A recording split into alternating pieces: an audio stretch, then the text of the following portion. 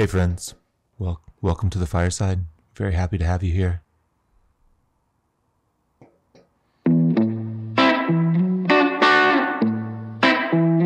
Hey, Shaka Bras. Hold on, let me fix this.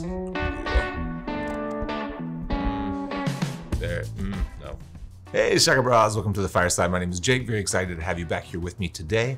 Uh, we have a great episode for you today with Patrick Paul O'Neil. Sounds like a sitcom name, but he's a tattooer. He's actually a really awesome tattooer out of Toronto, and he's doing some really, really beautiful, uh, large scale illustrative, Japanese and Chinese inspired tattooing. Uh, very awesome, like subtle color and temperature transitions, muted color palettes, some really, really uh, beautiful work. So if you don't follow him, you definitely should. And I know you'll want to follow him by the end of this episode. We're actually splitting this episode into two parts because the conversation was about two hours long. And um, I know some podcasters do these two and three hour marathon podcasts, but but not me. I like to break them up a little bit because I don't like to listen that long. So we're gonna break this one up into two episodes. We go pretty deep on a lot of topic, a lot of topics here. Uh, Patrick is a very thoughtful um, and well planned type of guest. He likes to think about what he's going to say before he says it. He had a few topics that he really wanted to hit on. And so we did a fair bit of planning before we even recorded the episode, which turned out to be great. Uh, he shares a lot of interesting stories and analogies. He's done some really interesting things in his fairly short career. I think he's only been tattooing maybe 10 years or so and, uh, uh, and is really accomplished, especially for that period of time that he's been working. Uh, but um, yeah, I think you're really going to enjoy this episode. I had a blast recording it. Thank you, as always, for supporting what we do, and let's get to the episode. I suppose the first thing that kind of comes out that I, sh- I should bother bringing to mind is um, I had like a, a pretty typical experience in like you know an arts education stream in North America, um, of which I find there from my conversations to be uh, some pretty big differences if you were to compare it to perhaps what you're seeing abroad um, in terms of like what what does an art education kind of mean. Um, in my case, it was you know high school classes uh, where you're you know you're being taught to paint portraits with like you know skin tone paint, and then a tube of black and a tube of white. Um, and then you're told, oh, you can actually go to university for this. You can you can get a degree in art. Um, and so that that kind of had me locked on uh, the Ontario College of Art and Design, which is one of the bigger art schools um, here in Toronto, uh, Canada. Um, and I think like I would describe it, perhaps from my ignorance, as like a like a postmodernist art school. I don't really know if there's like a, a term. I, I don't really know if there's a term to describe what art schools are like now, but um, that's at least how it's been described to me. Um, so what would be some example? Like, what what do you think makes it that? Was was it not rooted in a lot of classical, like traditional drawing techniques? Was it more? I had I had a, a an art school education that I don't know how I would characterize it, but I felt like the majority of my instructors were heavily influenced more by like abstract expressionism and more modern, uh, you know, 20th century artists rather than say, um, you know, classical art uh, or. Yeah, it's, I'd say that it's a it's a pretty similar. Um, my experience is pretty similar to yours, where you know if you uh, if you want to show one of your professors like, hey, this is J.C. Leyendecker, like, what do you think of this guy? And like, ah, he's a bit corny, that kind of stuff. Where right. um, and and I also you know I don't want to be you know ragging on on those types of art schools. I think that they're trying to do a very specific thing. I think that they're gearing fine artists for what the, the contemporary fine art world is, which in, in reality you know you don't need to learn to draw the figure you don't need to learn perspective. So they're they're actually kind of doing their job. Um, i think it's more art colleges such as like sheridan.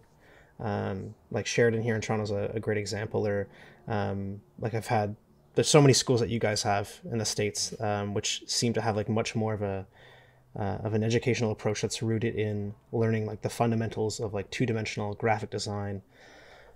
Um, so I, I would say that I, I I tried to do the best with what I had while I was there. I, I think that whereas like the the actual program itself didn't really give me what I was looking for, the students that did identify those things as values that they want to learn, you know, we naturally just kind of clung around and we, we would learn off of each other. Um, and it's it's not too different of a scenario as uh, as when you're in a, in a tattoo studio, right? Um, or you're, you're just bouncing ideas off of each other as opposed to sometimes just having like a specific mentor um, so that being said, um, you know my my plans of becoming a painter kind of changed after a while. I had a focus primarily on realism, um, not necessarily as an end goal, but just as a means to try to learn new things um, and try to get like more tools in my tool belt, I guess you could say, to then go on do whatever illustrative stuff I want down the road, um, and still have like a solid uh, foundation. Um, kind of where I started to fall out of love with it was later on in the years when you know I'd go to a lot of art gallery shows and and I'm not saying this is the truth. This is just how I kind of felt about it. Is that it, it felt like it was a lot of networking to try to get deals out of people. Um, it, a lot of the genu- the conversations uh, I suspected we were a bit disingenuous, but again, I don't know if that's the truth. That may have just been like my insecurities at the time showing. But either way, I I, I kind of stopped identifying that as like, oh, that's what I want to do. That's the path that I that I kind of want to go down on. Um, I don't have an ability to do small talk very easily, um, and I I you know if I'm if I'm talking to someone and I know that I'm trying to get something out of them, I get really anxious. I get really flustered, and it you know doesn't really go anywhere. Uh, so I wouldn't I wouldn't be a, like a good salesman. I think. Um, and so one day my I was you know talking to my buddy Kevin, and he had this uh, this amazing dragon tattoo, and and at that point I you know I had a couple tattoos in my hometown, but I, I didn't really think of it as a as a option uh, as a career. Um, my experience getting tattooed when I was you know 19 was like a kind of a a questionable character in your hometown uh, who does like ah, I can do that for 400 bucks and so for me, I'm thinking, oh, I just got to sell some video games and I can I can get this tattoo, right? Um, that was what I thought tattooing was. That's who I thought the crowd was. Uh, and so uh, my buddy Kevin had this amazing dragon, Kevin Compuesto, uh, who is also a big listener of your show. Uh, so uh, so yeah, Kevin had this incredible uh, dragon. I said, Kevin, where'd you get that done? And he's and I, if I recall correctly, he said that he traveled uh, up to San Francisco to get it. And he was saying, you know, man, though, I there are some days where I, I consider the possibility of, you know, what if instead I would have waited for for Tony from uh, from Chronic, and I didn't know what he was talking about. I was like, was like, why? What's? I think your tattoo's great. Like, who's this Tony guy you're talking about? And uh, he had mentioned, oh, he's this guy named Tony who uh, at Chronic Ink Tattoos here in Toronto, and he does like neo traditional Asian, and he's kind of taking some of the compositions that you'll see in traditional Japanese, but he's injecting uh, like classical Chinese drawing uh, kind of into the mix, um, which you know I, I, think that you you know your familiarity with uh, with fine art, I think you'll also be able to see that the Chinese traditional model seems to have taken a lot from like the Russian traditional model. So kind of in an interesting way, you have like you know uh, Russian realism and its and some of its focuses on structure and light, uh, seemingly making its way to China, and then that kind of somehow ending up into these tattoos here in Toronto, Canada.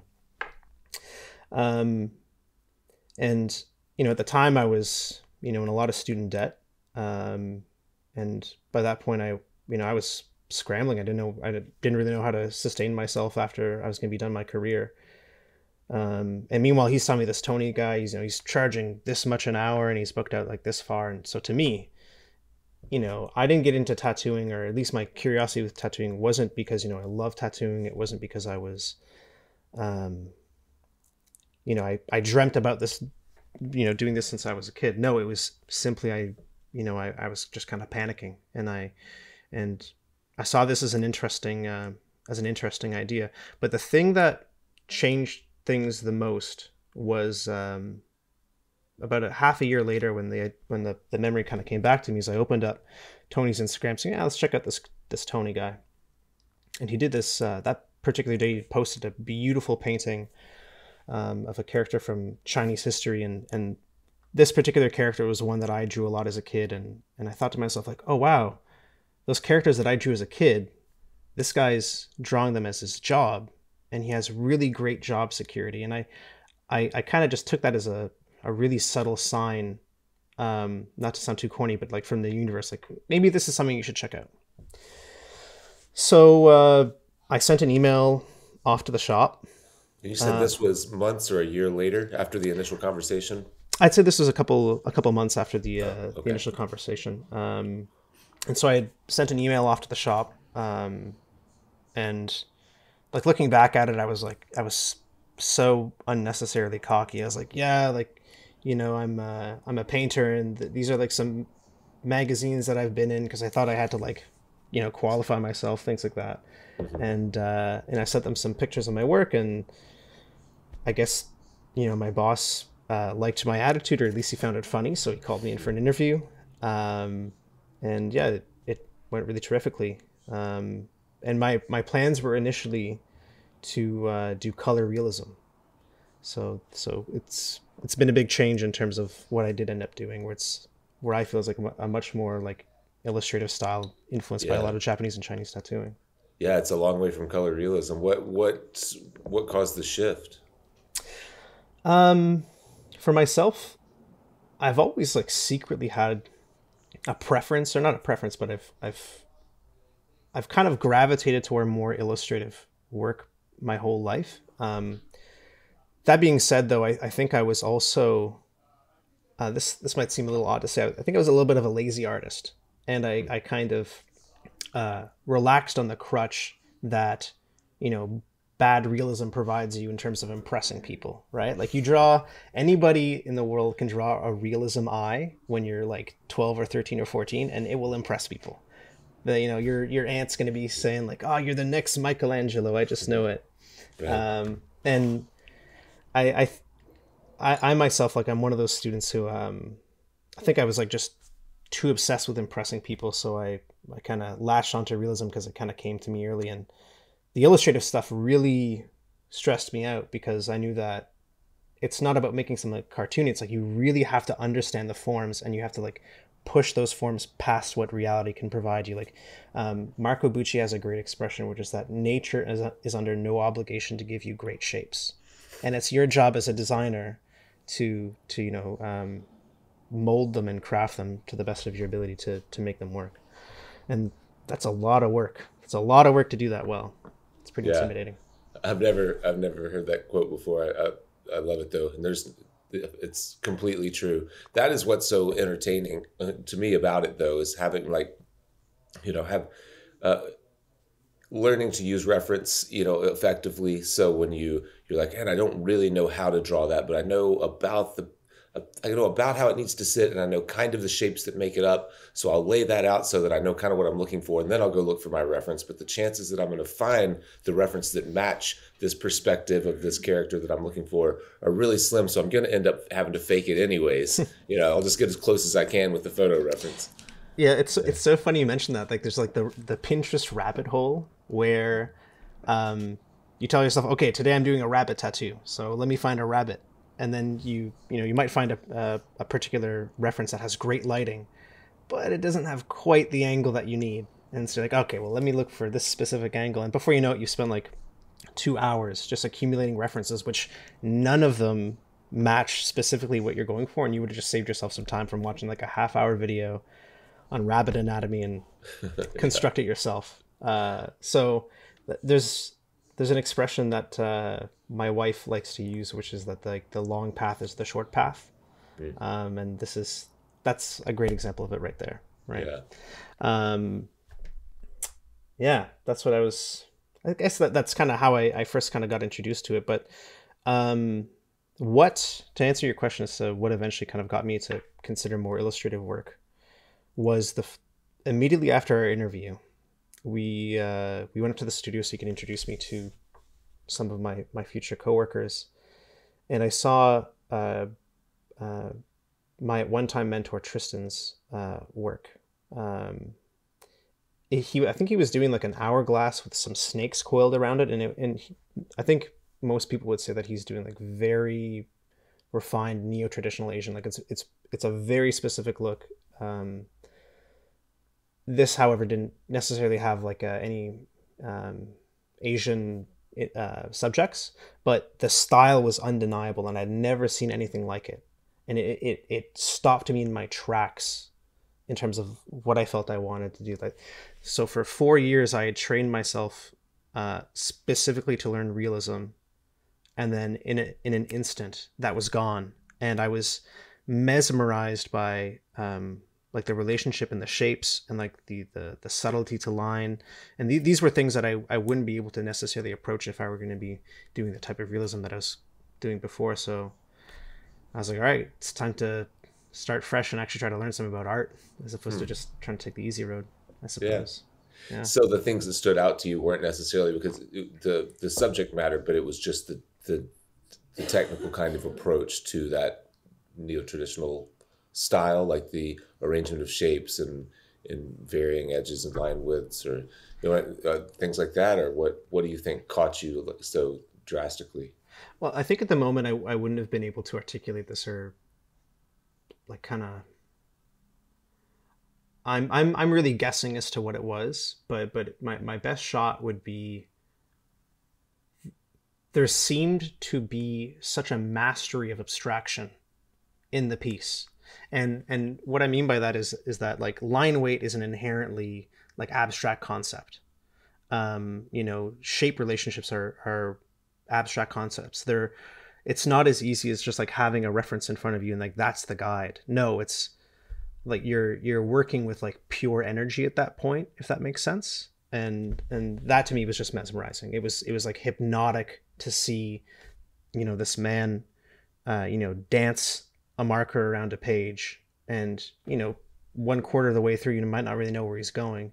But by the halfway point you're like wait i think there's something that's trying to come out of that page. And then by the end of it it's like a fully rendered image that was kind of like hidden there the whole time in his in his eyes. And as he's drawing those marks he's just taking away the curtain to let you look at the magic i suppose. Mm, yeah. Yeah.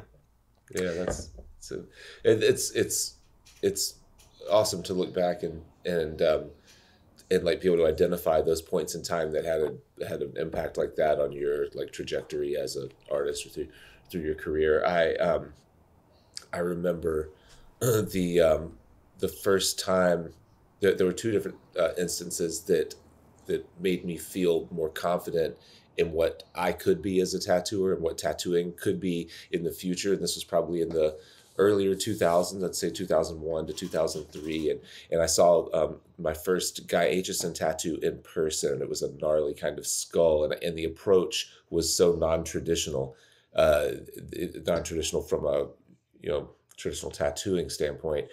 Uh, that really caught me because I realized he did not approach tattoos the way that I had been taught to approach tattoos.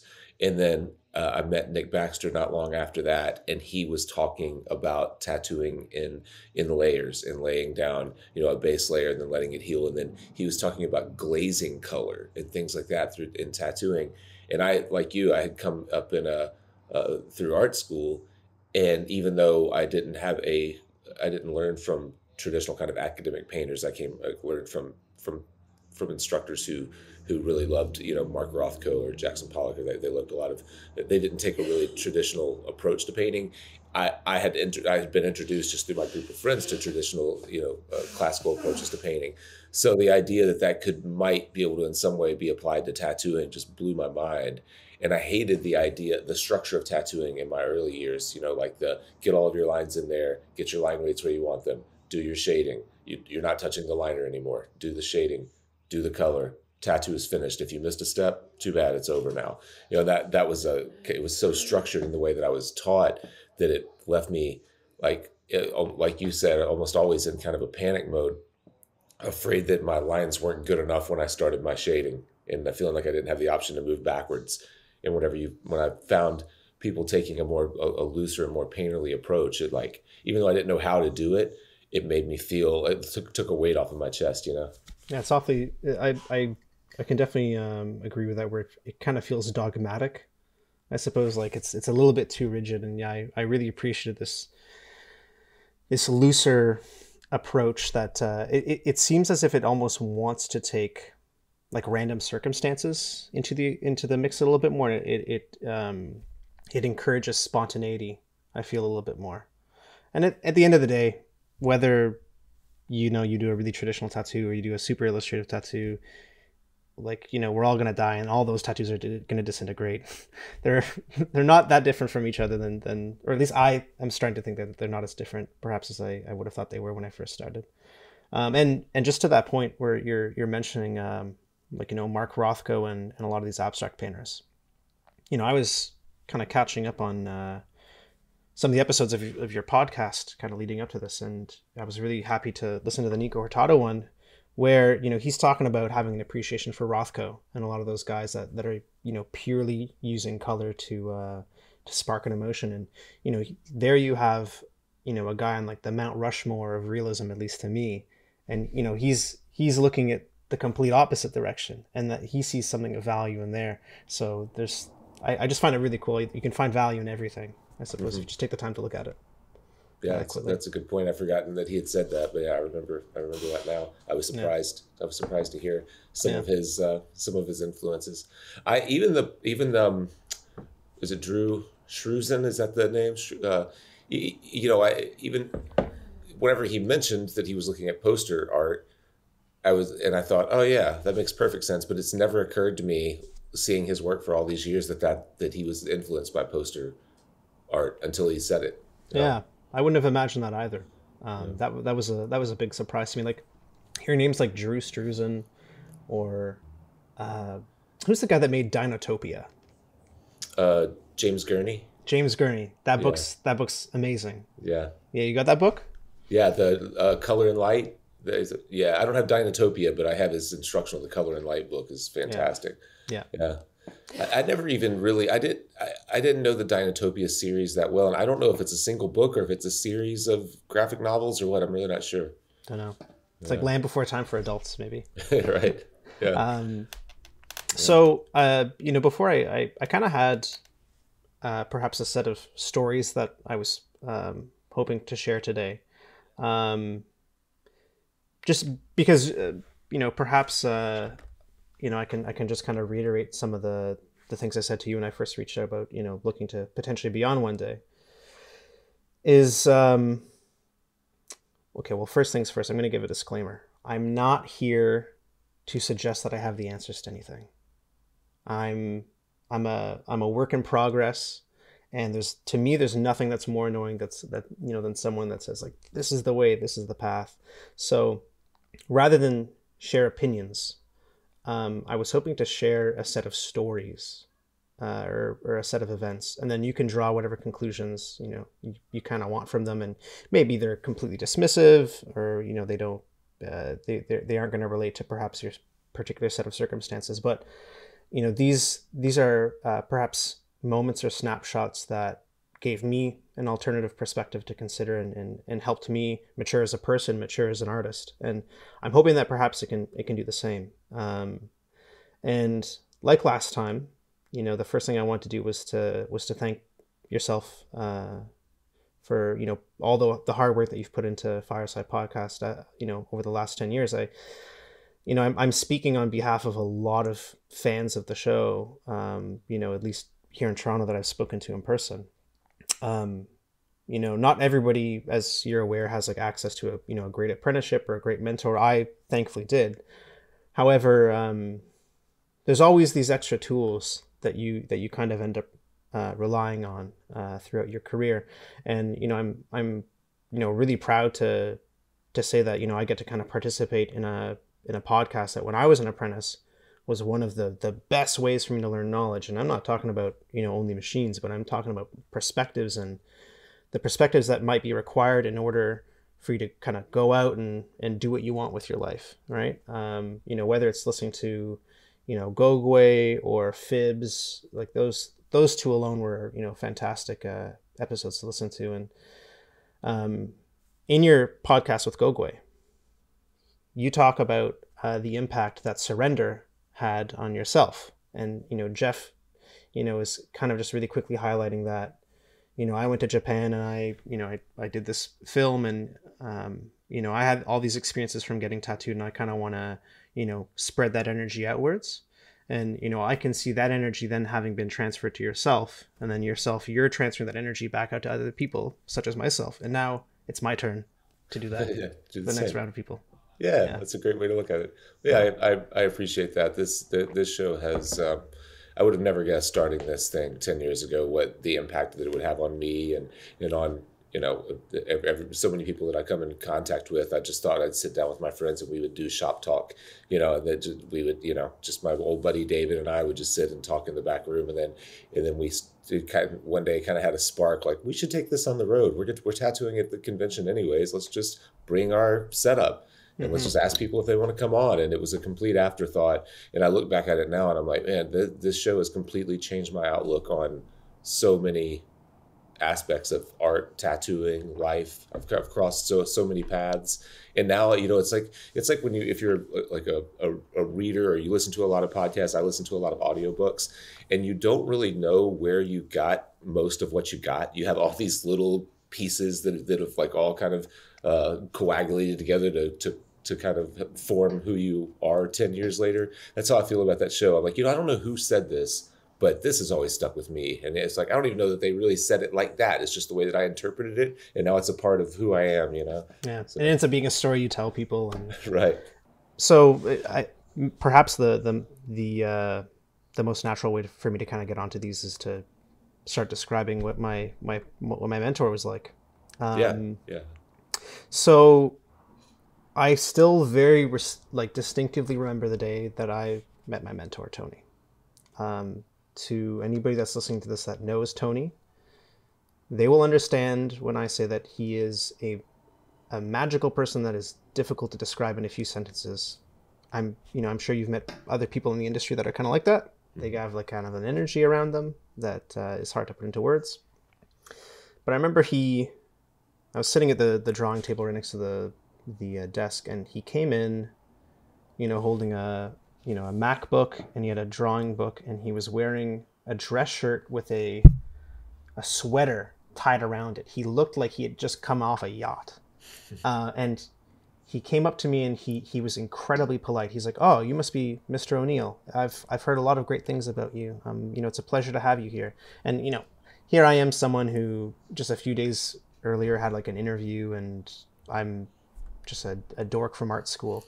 And meanwhile, this established artist who's you know very well dressed, very well put together, uh, comes over and and you know he looks at me in the eyes and and he he he treats me as an equal, like right from the beginning. Um, and it it made such a strong impression on me. Um, and it was the start of an amazing five years of you know working closely with someone who uh, and and and I hope you know this this doesn't uh, you know come across as as an insult um, I, I think it's actually the best thing about my apprenticeship was that very little of it had to do with art. Very little of it. I would say 5% of it was, you know, teaching me about shape design, whereas 95% of his focus uh, with, you know, any of his, his uh, pupils or uh, students, whatever you kind of, or apprentices, whatever you, you know, you want to kind of call them, is I think Tony has a, a belief in trying to personally grow, like try to try to uh, grow as a person, with the assumption that uh, with that will come professional growth as well, and it's it's offered me an, an, an opportunity to look at tattooing as a means to become a more mature, responsible person, a better communicator, um, and someone who's less afraid and someone who's willing to take on more risks. Um, it makes me it's helped me become a more empathetic person. Again, that being said, I'm not perfect at any of those things, but um, it it showed me that there was a lot more to what tattooing can be than just you know making a quick buck, securing a down payment for some property, or you know having a reason to travel and go party. It could be so much more than that, which which was pretty awesome. Hmm. Yeah. Do you know his uh, background, whether it's his apprenticeship, his drawing background, his upbringing, what like how he kind of came to that model of apprenticeship? Um, I, I only have suspicions. Um, you know, even though I was I was pretty close to him, uh, he does he does keep some parts of his life uh, uh, a little bit more mysterious. I'd say that's some of the charm to it. Um, but from my understanding, he had gone to Sheridan for animation, and this is before Sheridan themselves had kind of um, accepted the fact that digital animation was going to be like the main thing going forward. So he was doing physical drawing animation, and uh, I, I, suppose at a certain point he may have had the same struggles I did. Realize that this isn't something that I, I really kind of want to go down on. Uh, so he realized that tattooing might be an alternative uh, option for him. From my understanding, his his mentorship he he had briefly gone back to uh, to China uh, to to try to study with someone and I think some of the the negative aspects of that experience ended up informing what he wanted to be as a mentor somehow like you know you'll you'll hear some some people say like you know my dad treated me like this so I'm gonna want to be the exact opposite for for my children and and uh, so a suspicion of mine is that his negative experiences ended up informing you know the the, the incredibly generous and kind man that he is. Hmm. Yeah. Okay. We had in, in, our kind of first talk, where we just getting, getting to know each other a little bit. You spoke a little bit about um, negative experiences in. I want to say that it was in kind of maybe in getting tattooed, or maybe uh, I don't think it was negative experiences with guest spotting, with traveling and things like that, yeah. but maybe it was. Is that? Um, do you want to speak to any of that, or is that out of context from where we're going? No, right no, that's fair. That's fair. We can we can talk about that. Um, I mean, my experiences getting tattooed and, and traveling have have been incredibly informative to my to my practice as an artist, and and uh, I believe that you know the service that you give to your client is is equally as important as to the tattoo that you give. You shouldn't use um, like your educational training as a crutch to to you know not follow up with good communication and being attentive and making sure the the mood of the room is right making sure that they're comfortable and that they feel uh, acknowledged and respected.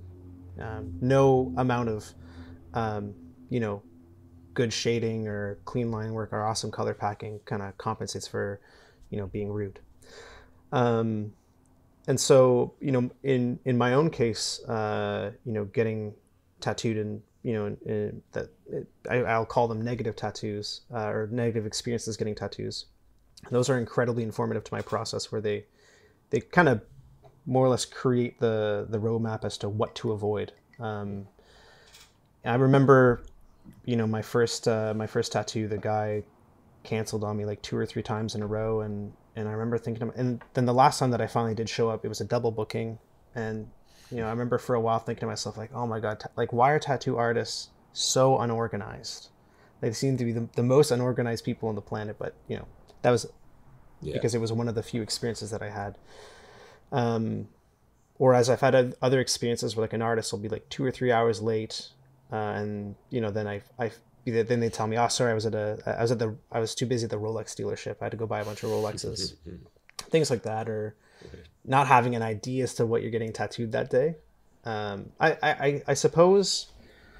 Uh, how I can summarize many of those experiences is just that I felt like I was the middleman between the artist and my wallet, hmm. if that makes any sense. Like I, I, you know, whereas the great experiences that I've had have um, have been about, you know, two people, or you know, maybe you have a friend, or there might be another person in the room, but two people sharing an incredible experience and incredible memories. I think like those are those are the, the core of every single positive tattoo experience that I've had, and for that reason, that's kind of what I want to offer to my clients as well. Yeah. yeah. I, I think that um, to, to reinforce that idea, I meet a lot of people who, or you know, maybe I'm tattooing people who already have you know several tattoos or are heavily tattooed, and their favorite tattoos are rarely what I would consider their best tattoos. You know, they, it was their favorite tattoos are tied to the experience with the artist or the um, you know that it's it's always the story of the tattoo more than the you know, more than the tattoo itself and you find that pretty regularly i think with you know with people who really love a particular tattoo that may not be anything to write home about. Yep. No abs- absolutely. So um, just on that note I, will want to speak about what was probably the most positive experience i've had in my career. And um, so the moment i'm i'm getting my uh, my full chest and leg uh, tattooed by Kalle Korsen in Sweden. Um, and he he provided what I think was like the, the best possible experience that I could have imagined getting tattooed. Um, the first session, you know, was was really fun, but it was the second session where we were lining my leg, which kind of really sticks out in my mind as as having taught me a lot. And I'm sure yourself and like you know your audience will will kind of agree with this is that it doesn't matter how many times you get tattooed, you're always nervous before a session, especially you know a large you know a really long session where you're expecting a lot of work to be done. It's terrifying. There's no way around it. And and if you know if you guys think that tattoo artists are are tough when they get tattooed, no, we're not tough. I think we're probably the opposite a lot of the times. Um, but I'd flown to Sweden and uh, uh we were going to be lining my leg that day, and you know you book the flights, you're you're excited to get to this new country, but when it you know comes time knowing like oh man tomorrow I'm in for like you know four or five hours of rough line work on my knee ditch, um, you, you get the butterflies by the time that you get there, and you know I'm not sure if Kalle could sense that energy and and he kind of wanted to try some new tools to kind of calm me down or or perhaps this is just regularly how generous he is. But instead of just getting right to work you know he showed me around the studio. He explained what you know a couple of the like the little trinkets were on the wall. He he really made the space feel lived in and, and it, it kind of helped you pay better attention to what you're seeing on the walls and it it uh, gave you a moment to appreciate just the space alone. And then he said, you know what, let's go for let's go for some lunch. So we, you know, we're walking down the street and he's saying, ah, you know, my dad used to live in that apartment just over there. And, and I also remember he was like, in that one, there was like a double homicide, like back in the 90s. And we just went for, you know, some, uh, some lunch. We had some burgers. And then by the time that we got back to the studio and we were, we were ready to start again, I was completely relaxed you know, I'd settled into the space. I'd settled into you know working with his dynamic, and it was it was one of the easiest sessions I've ever had. Um, and uh, not, so to add to what you're saying as to you know we're we're left with you know great memories of that tattoo. We're we're also left with a uh, with a less painful tattoo, perhaps. I'm not sure if you're if you're more comfortable, right? Yeah, yeah. Yeah. Have you you've I know you've you've done some some guest spots as well, and you talked about going and working with Gogue uh, for a while. Do you do you find yourself paying attention to that aspect of it a lot, like how people are interacting during their consultations? Or obviously, we're paying attention to the studio when we're working in it for days on end, you know, just to kind of get a feel for what the the place is about. But um, I find myself constantly trying to eavesdrop on and and see what I can pick up from other people during their consultations, even though it's none of my business. Yes, that's very interesting, and and I want to maybe uh, split those into two separate points. Observing how other studios work and observing how consultation works, I think, are equally uh, interesting topics there. Um, you know, earlier you spoke about how you were rendered uncomfortable, how there seemed to be like a sort of really rigid, uh, dogmatic approach to how a tattoo is made. I think that you can also apply that concept to, you know, what kind of experience do you want to give to someone, right? And you know, going to do guest spots tells you, oh, I, I noticed that, you know, they just play really soft music and, you know, they get, they, they give complimentary uh, uh, bathrobes to their clients. Um, and in this particular studio, you can't just, you know, walk into the, the booths and go see what's going on. Um, there's completely different sets of values. And you'll also see managers occupying different roles where in one particular guest spot, you know, the manager part of their uh, I suppose you might say responsibilities or roles in the studio is to just go around lighting incense. Um, and tattooing doesn't need to just be one thing. Whoever it was that maybe like you kind of encountered when you started in the industry and their their views on it. There are more than there are more ways that you can deliver a tattoo, and there's uh, more ways to honor your clients than just perhaps their perspective. And ultimately, it, it encourages you to go out and seek whatever is best for you that allows you to be a more honest person and deliver a more honest experience uh, to your patrons. Um, as for cluing in on on the the consultation process, I find that equally fascinating because some people are just like straight down to business, like what do you want? Uh, you know, where do you want on your body? Uh, other people, they have a very different process of like establishing boundaries at the beginning with their clients and like establishing expectations with their clients.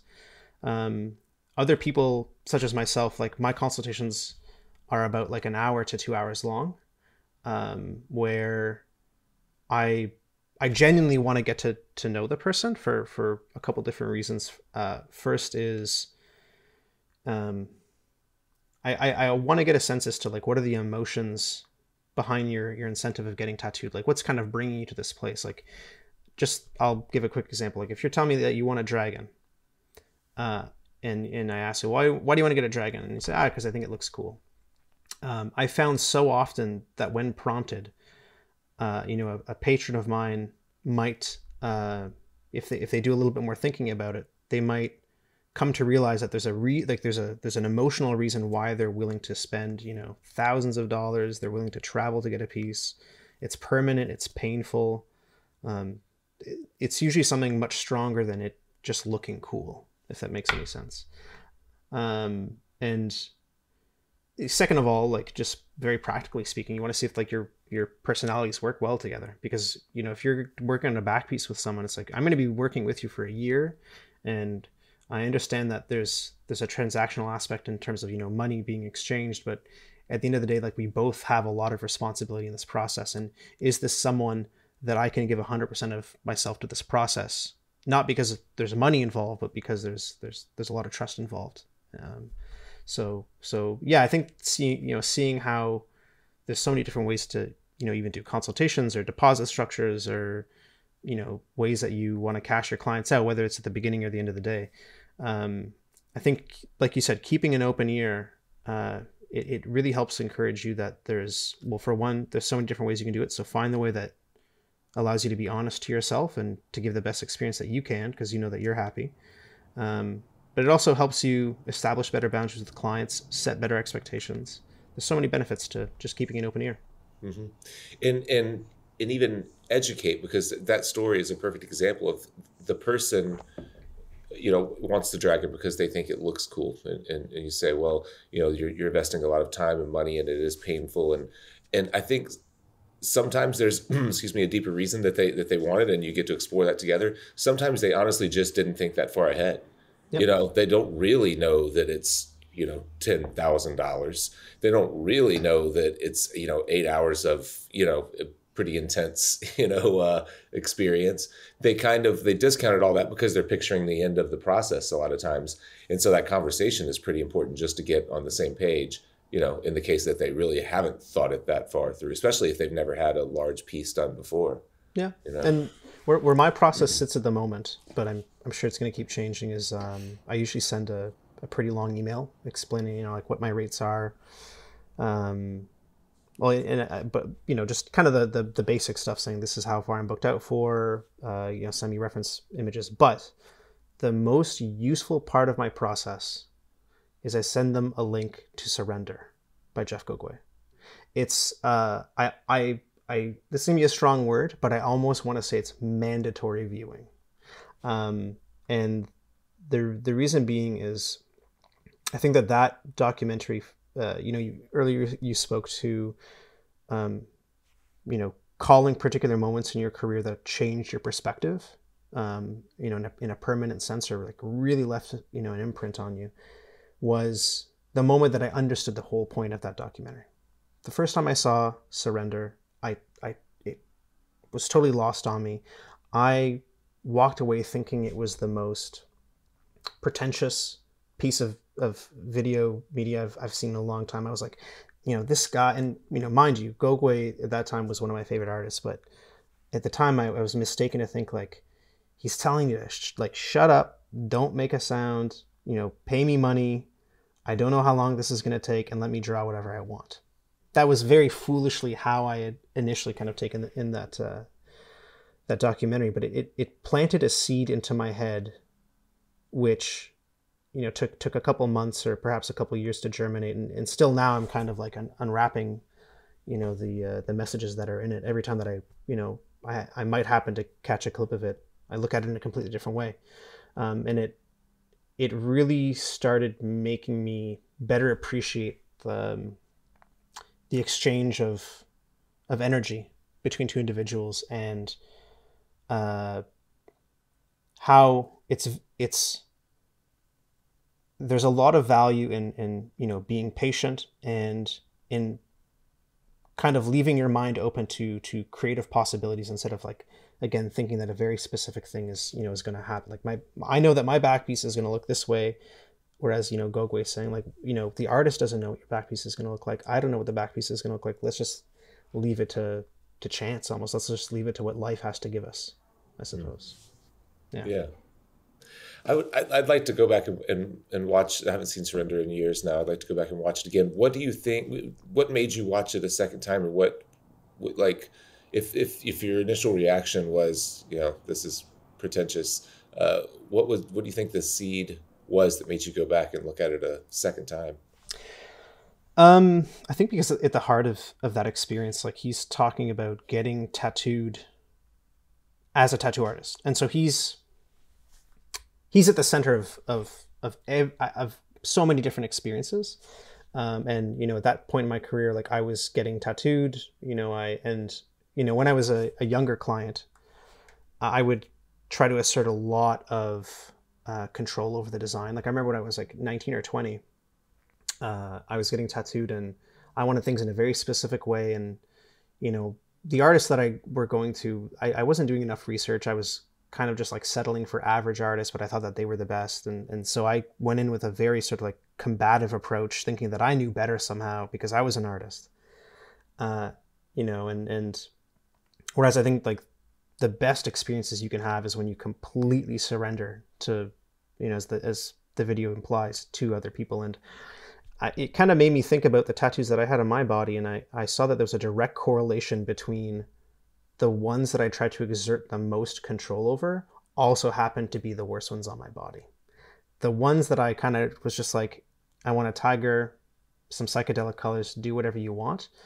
There was a purity in the work and there was an expression, there was there's there's an unmistakable energy in it that I think just as a natural consequence, you know, turns out to maybe be better work, I suppose. Yeah. Yeah. Yeah, I completely agree. I, I think that anytime as you know, as someone who uh, you know has tattooed a lot of people and have been uh, have experiences where people are completely open to my interpretation or people who have even if it's a few very specific requirements sometimes those specific requirements have me second guessing my own kind of process enough that I could see how the the drawings and the tattoo itself end up looking getting getting stiff or kind of losing the my mark, you know, the thing that, that kind of that feel like makes it mine. Uh, you know, something as simple as, you know, I I hate purple. I don't want to use purple. And then, you know, I put out purple because I'm using yellow and I need to neutralize it or something like that. And then instantly they're like, I don't, are you, where are you going to put that purple? I don't want purple. it's like, well, I promise I won't put a purple shirt on this thing, but I need purple, you know, but that, even that, like just that interaction, you yeah. know, it's like if, if you're paying that close of attention to every move that I make in the process. It's uh, it just it tightens tightens the artist up. I think. Well, I think my solution to that, um, and it's something that you touched upon earlier, which is the value of educating the client and the value of including the client in. Not, I, I don't want to say the the word I'm looking for isn't the creative process, but um, there's a documentary that I I don't know if it aired in the states called How It's Made, uh, and they just they just show you how a basketball is made. Yeah, you know, from yeah, be- from beginning to end. That was a great show. Yeah, and it kind of gives you an appreciation for how traffic cones are made, uh, and it, it just kind of puts the focus on something that you otherwise wouldn't give value to, and and you're like, oh wow, that's really cool. And likewise, you know, part of the experience that I try to get to my patrons is, um, you know, I want to talk to them about composition. I want to talk to them about color because this is a this is merely a suspicion of mine uh, so so you know tell tell me if you, if you want to push back on this at all. But I think one of the most important things that we can do to sus- to sus- help sustain this industry is um, I believe that we need to educate the public to you know really deeply appreciate tattoos perhaps the way that they might uh, a film or some music where we're we I want to show them a little bit of what's kind of behind the scenes so that not only do they appreciate their own tattoo more, but ultimately they can appreciate someone else's tattoo more. We're not only looking at the dragon, but if I tell them that, you know, the to me the background is way harder than the main subject. Like if you're freehanding clouds on something and you're trying to make these these abstract shapes look good, that's a lot harder than, you know, drawing a subject that you've done all so many times. And, you know, then I've seen those clients, you know, uh, in a later session they might go up to another client be like oh my god i love the water in your piece and you know you've you've given them something else to to appreciate and see in the art and that can start off its own chain reactions you know kind of further further along the the process. So uh, you know just to to revisit the, the idea of you know purple and like you know mixing colors. You know a large part of my process is is telling them you know it's going to look weird for now but this is the reason why. Um, and you know just bear with me by the end it'll look cool. Um, and they're completely cool with it because you know they they understand the theory of the concept, um, and you know they they they trust you. I better I, I sense. Yeah, that's my suspicion. Yeah, I, I agree. I like that example of of pointing out something that's a challenge to you, like backgrounds, uh, and and and that impact, the impact that might have on them, because now they have some little piece of information, like a secret from the artist about like you know, like clouds are harder than dragons, you yeah. know, and so. I was just looking through some of your um, uh, some of the kind of notes that you had sent here earlier, and I uh, I wonder if this fits along with it. But you, you made a note that said, "Don't take the moment for granted. Always act like you're on a guest spot." What is that? What do you mean? Ah, uh, yes. So, um, shortly after coming back out to from my guest spot um, at Gogue's, uh, these were in like the, the the latter years of you know my uh, my studying under Tony. One day he kind of pulled me in the back, and uh, he was just kind of chatting with me and just catching up. But he'd also kind of delivered um, some constructive criticism, and he said, uh, "You know, Patrick, you've been working here for for you know many years, but don't take the space for granted. Um, don't take your time in the studio for granted. And my suggestion to you is to kind of pretend like you're on a guest spot because a- ask yourself, how did you behave when you were doing a guest spot? And, uh, you know, I, I kind of thought about that. I was like, yeah, it's true. Like when you're doing a guest spot and you're going in the back to maybe grab some supplies that they've offered to you, you're not to, you're to make sure that you close, you know, all the doors. You're to make sure that, you know, if there's you know you've ran out of toilet paper you're gonna you're always gonna refill the toilet paper you're um you know i hate to admit this but like you're you're you're kind of subconsciously trying to be your ideal self sometimes right uh it's it's it's one of these um it's one of like the tragic flaws of of uh of mankind which is that the closer that we are to people the more vulnerable like the more the less we try sometimes. Mm-hmm. Uh, whereas like we, we really try to, you know, impress or have a good impression on people in, in, the periphery and, you know, to, to that matter, like, you know, when you're going to do a guest spot, you're on your best behavior, but there's no reason why you shouldn't be on your best behavior, behavior every day. Like you should be bringing that energy back to the studio that you're regularly working at. Um, and, you know, it's been told to me by someone that, you know, 20% of the work that you do is the tattoos. 80% of the work is all the other stuff that goes behind it, including just how do you interact in the studio with people. It's a mm. large part of it. Yeah, yeah. I think a lot of times whenever I when I have new clients in, and maybe we're still trying to kind of feeling each other out, I I want to be as like um, inviting and make them feel as comfortable as at home as I can. So I just a lot of times I just visualize my regular clients, the people that I tattoo every six weeks, you know, for you know maybe months and years on end now. And i just try to think about like when that person walks in how do i what are the questions that i ask? You know what's going on? You know how was work this week? Or you know what did you bring for lunch? Or whatever you know like just really common like every you know just disarming kind of uh, questions like we've known each other for years. So yeah. i try to treat brand new people the you know the same way by just kind of like switching their faces out in my mind you know? It's kind of interesting you you mentioned that. I've noticed that i have um not quite a similar process, but but something that might be uh, uh, kind of beside it laterally, which is if I ever feel like there's there's a, a little bit of a mismatch in the energy between both people, um, what I might an exercise that I that I try to do is I try to learn from them. So if someone's like a I don't know like they're a, a, a hairdresser, right? uh, I'm gonna, you know, I don't have hair, so maybe that's not the best example to ask him questions. But you know, I might ask that hairdresser, like, how do you deal with clients that no show, right? Um, like a, you know, a great example of this that we can refer back to tattooing. So I have a, you know, really awesome client um, named Hani, who's a who's a hairdresser, and uh, you know, we came we come from very different backgrounds, but you know, before our sessions, when we sit down just to enjoy a cup of tea um, that's a moment where you know i'm i'm sitting across from someone that otherwise life never would have kind of paired the two of us up and you're, you're kind of granted a precious moment to, to gain a perspective that otherwise you wouldn't.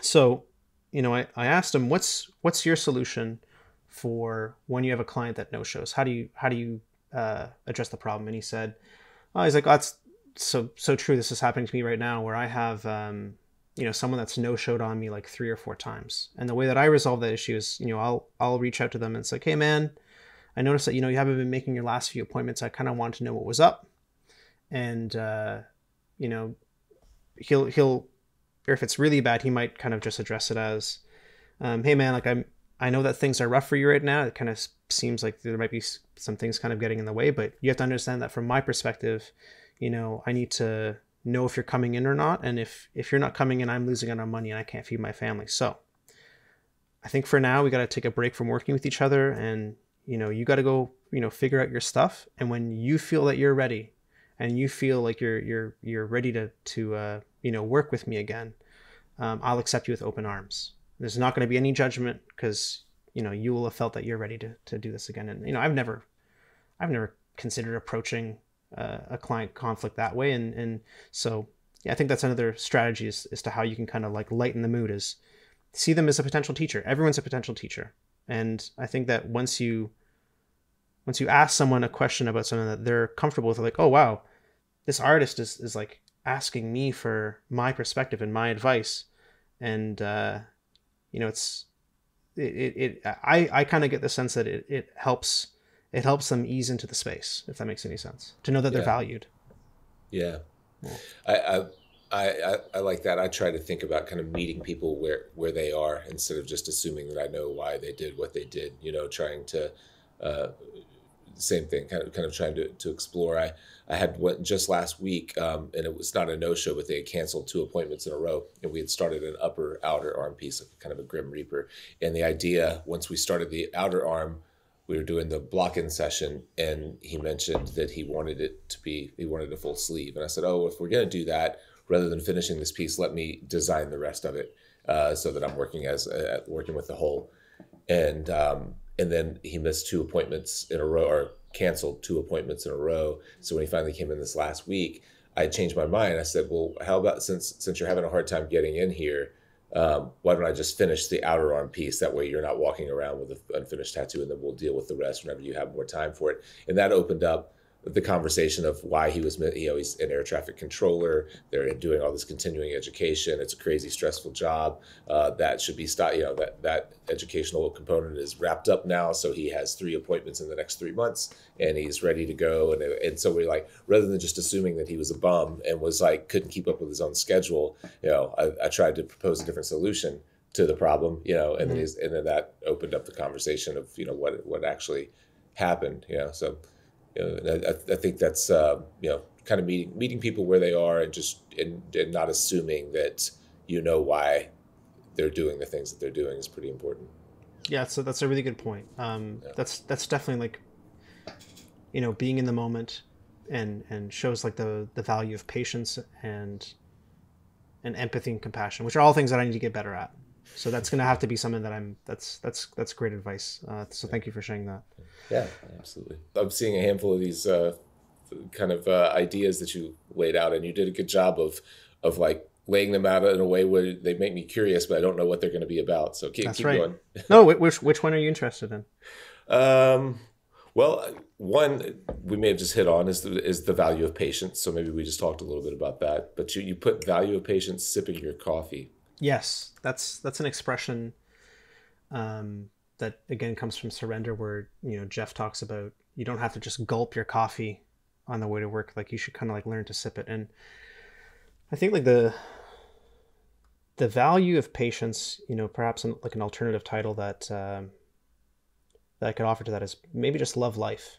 Maybe that's what being patient can also be. It's just loving life. And tattooing has given me uh, and you know, uh, I should add, like you know, an education in the arts has has given me a sensitivity and an appreciation of things that which otherwise I wouldn't have, you know, really, you know, liked. Great example: um, Japanese maples. I see a lot of tattoos that have Japanese maples, and yet I'm only seeing like one or two varieties at most of Japanese maples. Maybe the colors will be different, but for the most part, they're they're relatively the same. Um, but if you actually look into Japanese maples, there are like 10 to 15 incredibly distinct varieties of them that uh, you know when when and this will kind of go back to like what's the what's the value of like a, a, traditional art education where you're looking at form and structure is i'd happened to stumble across um, it wasn't at all to do with the arts. It was uh, it was a gardening website talking about the the names of the different uh, the, sorry the terms that are used to describe um, a japanese maple when you're evaluating its shape and when you're trying to recognize it. So I'm, i might be misnaming these but i remember the individual sort of guys that kind of come out they're referred to as fingers and they have a different term for like the negative space in between the individual fingers um, and they also talk about um, like the, the actual amount and the structure of them. And when you apply this like through through a visual um, perspective you're really just looking at shape relationships and you're you're like oh my god there's nature's arranging all of these like incredible shape relationships in front of you to where you can you know you can walk down the street and you know before they're just a bunch of trees. But all of a sudden you have a whole art gallery of shapes in front of you.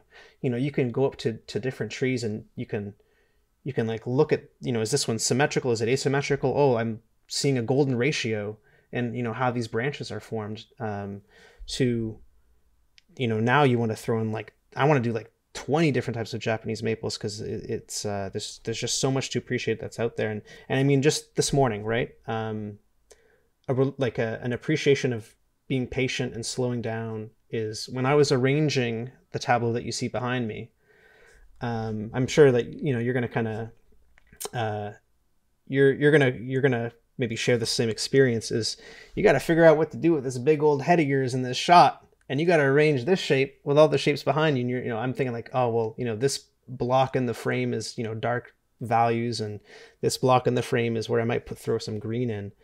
Um, and, you know, just this morning, it really gave me like a, a deeper respect for just like streamers and vloggers and YouTubers. Like, yeah. They got to think about shape relationships too, just like us. Right. It's really cool. Yeah. Yeah, yeah. it is. Yeah. That that's, um, it, I think it's an important uh, topic to touch on. Is just staying um, curious. You know, when it comes to like recognizing you know what, what's happening when you're out out on a walk. You know, the arrangement of shapes and in, in, in nature. So, so staying staying curious and slowing down enough to. Uh, you know, to, to actually notice those things. One thing that I find all the time, Memphis is a very green city. So we're uh, it, it's we have it's basically a forest. We just live in like all these all these huge trees everywhere, and um, I, I, I find myself driving and mixing colors of you know subtle changes in the you know a tree that's just starting to green up versus one that's still completely brown versus one that's an evergreen and uh and uh I do it sub I do it subconsciously now. I think that I used to do it intentionally whenever I was trying to learn more, uh, you know, about, uh, but maybe when I was in art school, trying to learn more about uh, mixing color and now I just go like, what color? What, what would I start with? Which would I even start with the green, or would I start with you know uh, if I were mixing that, which direction would I tint it? And I, whenever you start to do those things, you'll continue to do them. I think you know, and it's uh, so your drive to work. You, know, you may not remember that you did it, but if you if you think back, you're like, yeah, I just mixed colors in my head that whole drive. Yeah. Yeah. Or my wife, you know, she she tells me like last month, like, you know what, I think brown is the color that looks best on me. And I said, well, why is it? Why is brown the, the color that looks best on you? And then she'll bust out like makeup theory, and she'll talk about like the width of her shoulders, and you know how like you know brown because it's a lower value has like a blockier sort of look on certain parts, and like, it's it's just looking at um, it's it's it's finding the beauty in everything, and also finding systems that allow you to look at that beauty through a different lens, I suppose. Hey, thanks for watching. I hope you enjoyed part one. Part two of this interview will come out next Wednesday, next week, and uh, it's just as just as good. It really uh, we shares more analogies, more stories, and uh, we dive deeper into some topics that we didn't quite get into in this first segment. So be on the lookout for that. If you have ever thought while you're watching these interviews, like, man, I wish Jake would have gone deeper into that or asked more questions about that topic, or I wonder why he didn't ask about this topic at all, um, I have a solution for you. You could join the Inside Fireside Tattoo Club where we do monthly technique talks. So you're basically sitting in on the podcast, on the Zoom call, and you're able to participate, ask questions dive deeper into whatever topics that you like with our guests. They're really awesome. That's only one of the benefits, uh, one of the many benefits of being an Inside Fireside Tattoo Club member. Uh, I will link to the Tattoo Club uh, sales page just so you can kind of see what it's about. It's really cool. It's very inexpensive, 25 bucks a month if you pay monthly. Uh, if you pay annually, it's like 21 or 22 dollars, and well worth it. We do monthly drawing challenges, uh, prizes at the end of each month that are worth well more than your 25 dollar a month uh, uh, payment. Uh, we really invest a lot back into this club. So the dues that you pay are put back into the club uh, to bring in guests, doing drawing nights. We do something really cool uh, that we've only been doing recently called um, a, a, a, client role play night. So basically, it's to help uh, tattooers to better engage with their clientele during consultations, and that's been a lot of fun. Uh, we've only done it two or three times, but it's been really cool. So yeah, check out Inside Fireside Tattoo Club. We'd love to hang out with you and do some drawing and stuff like that. I'll see you next week.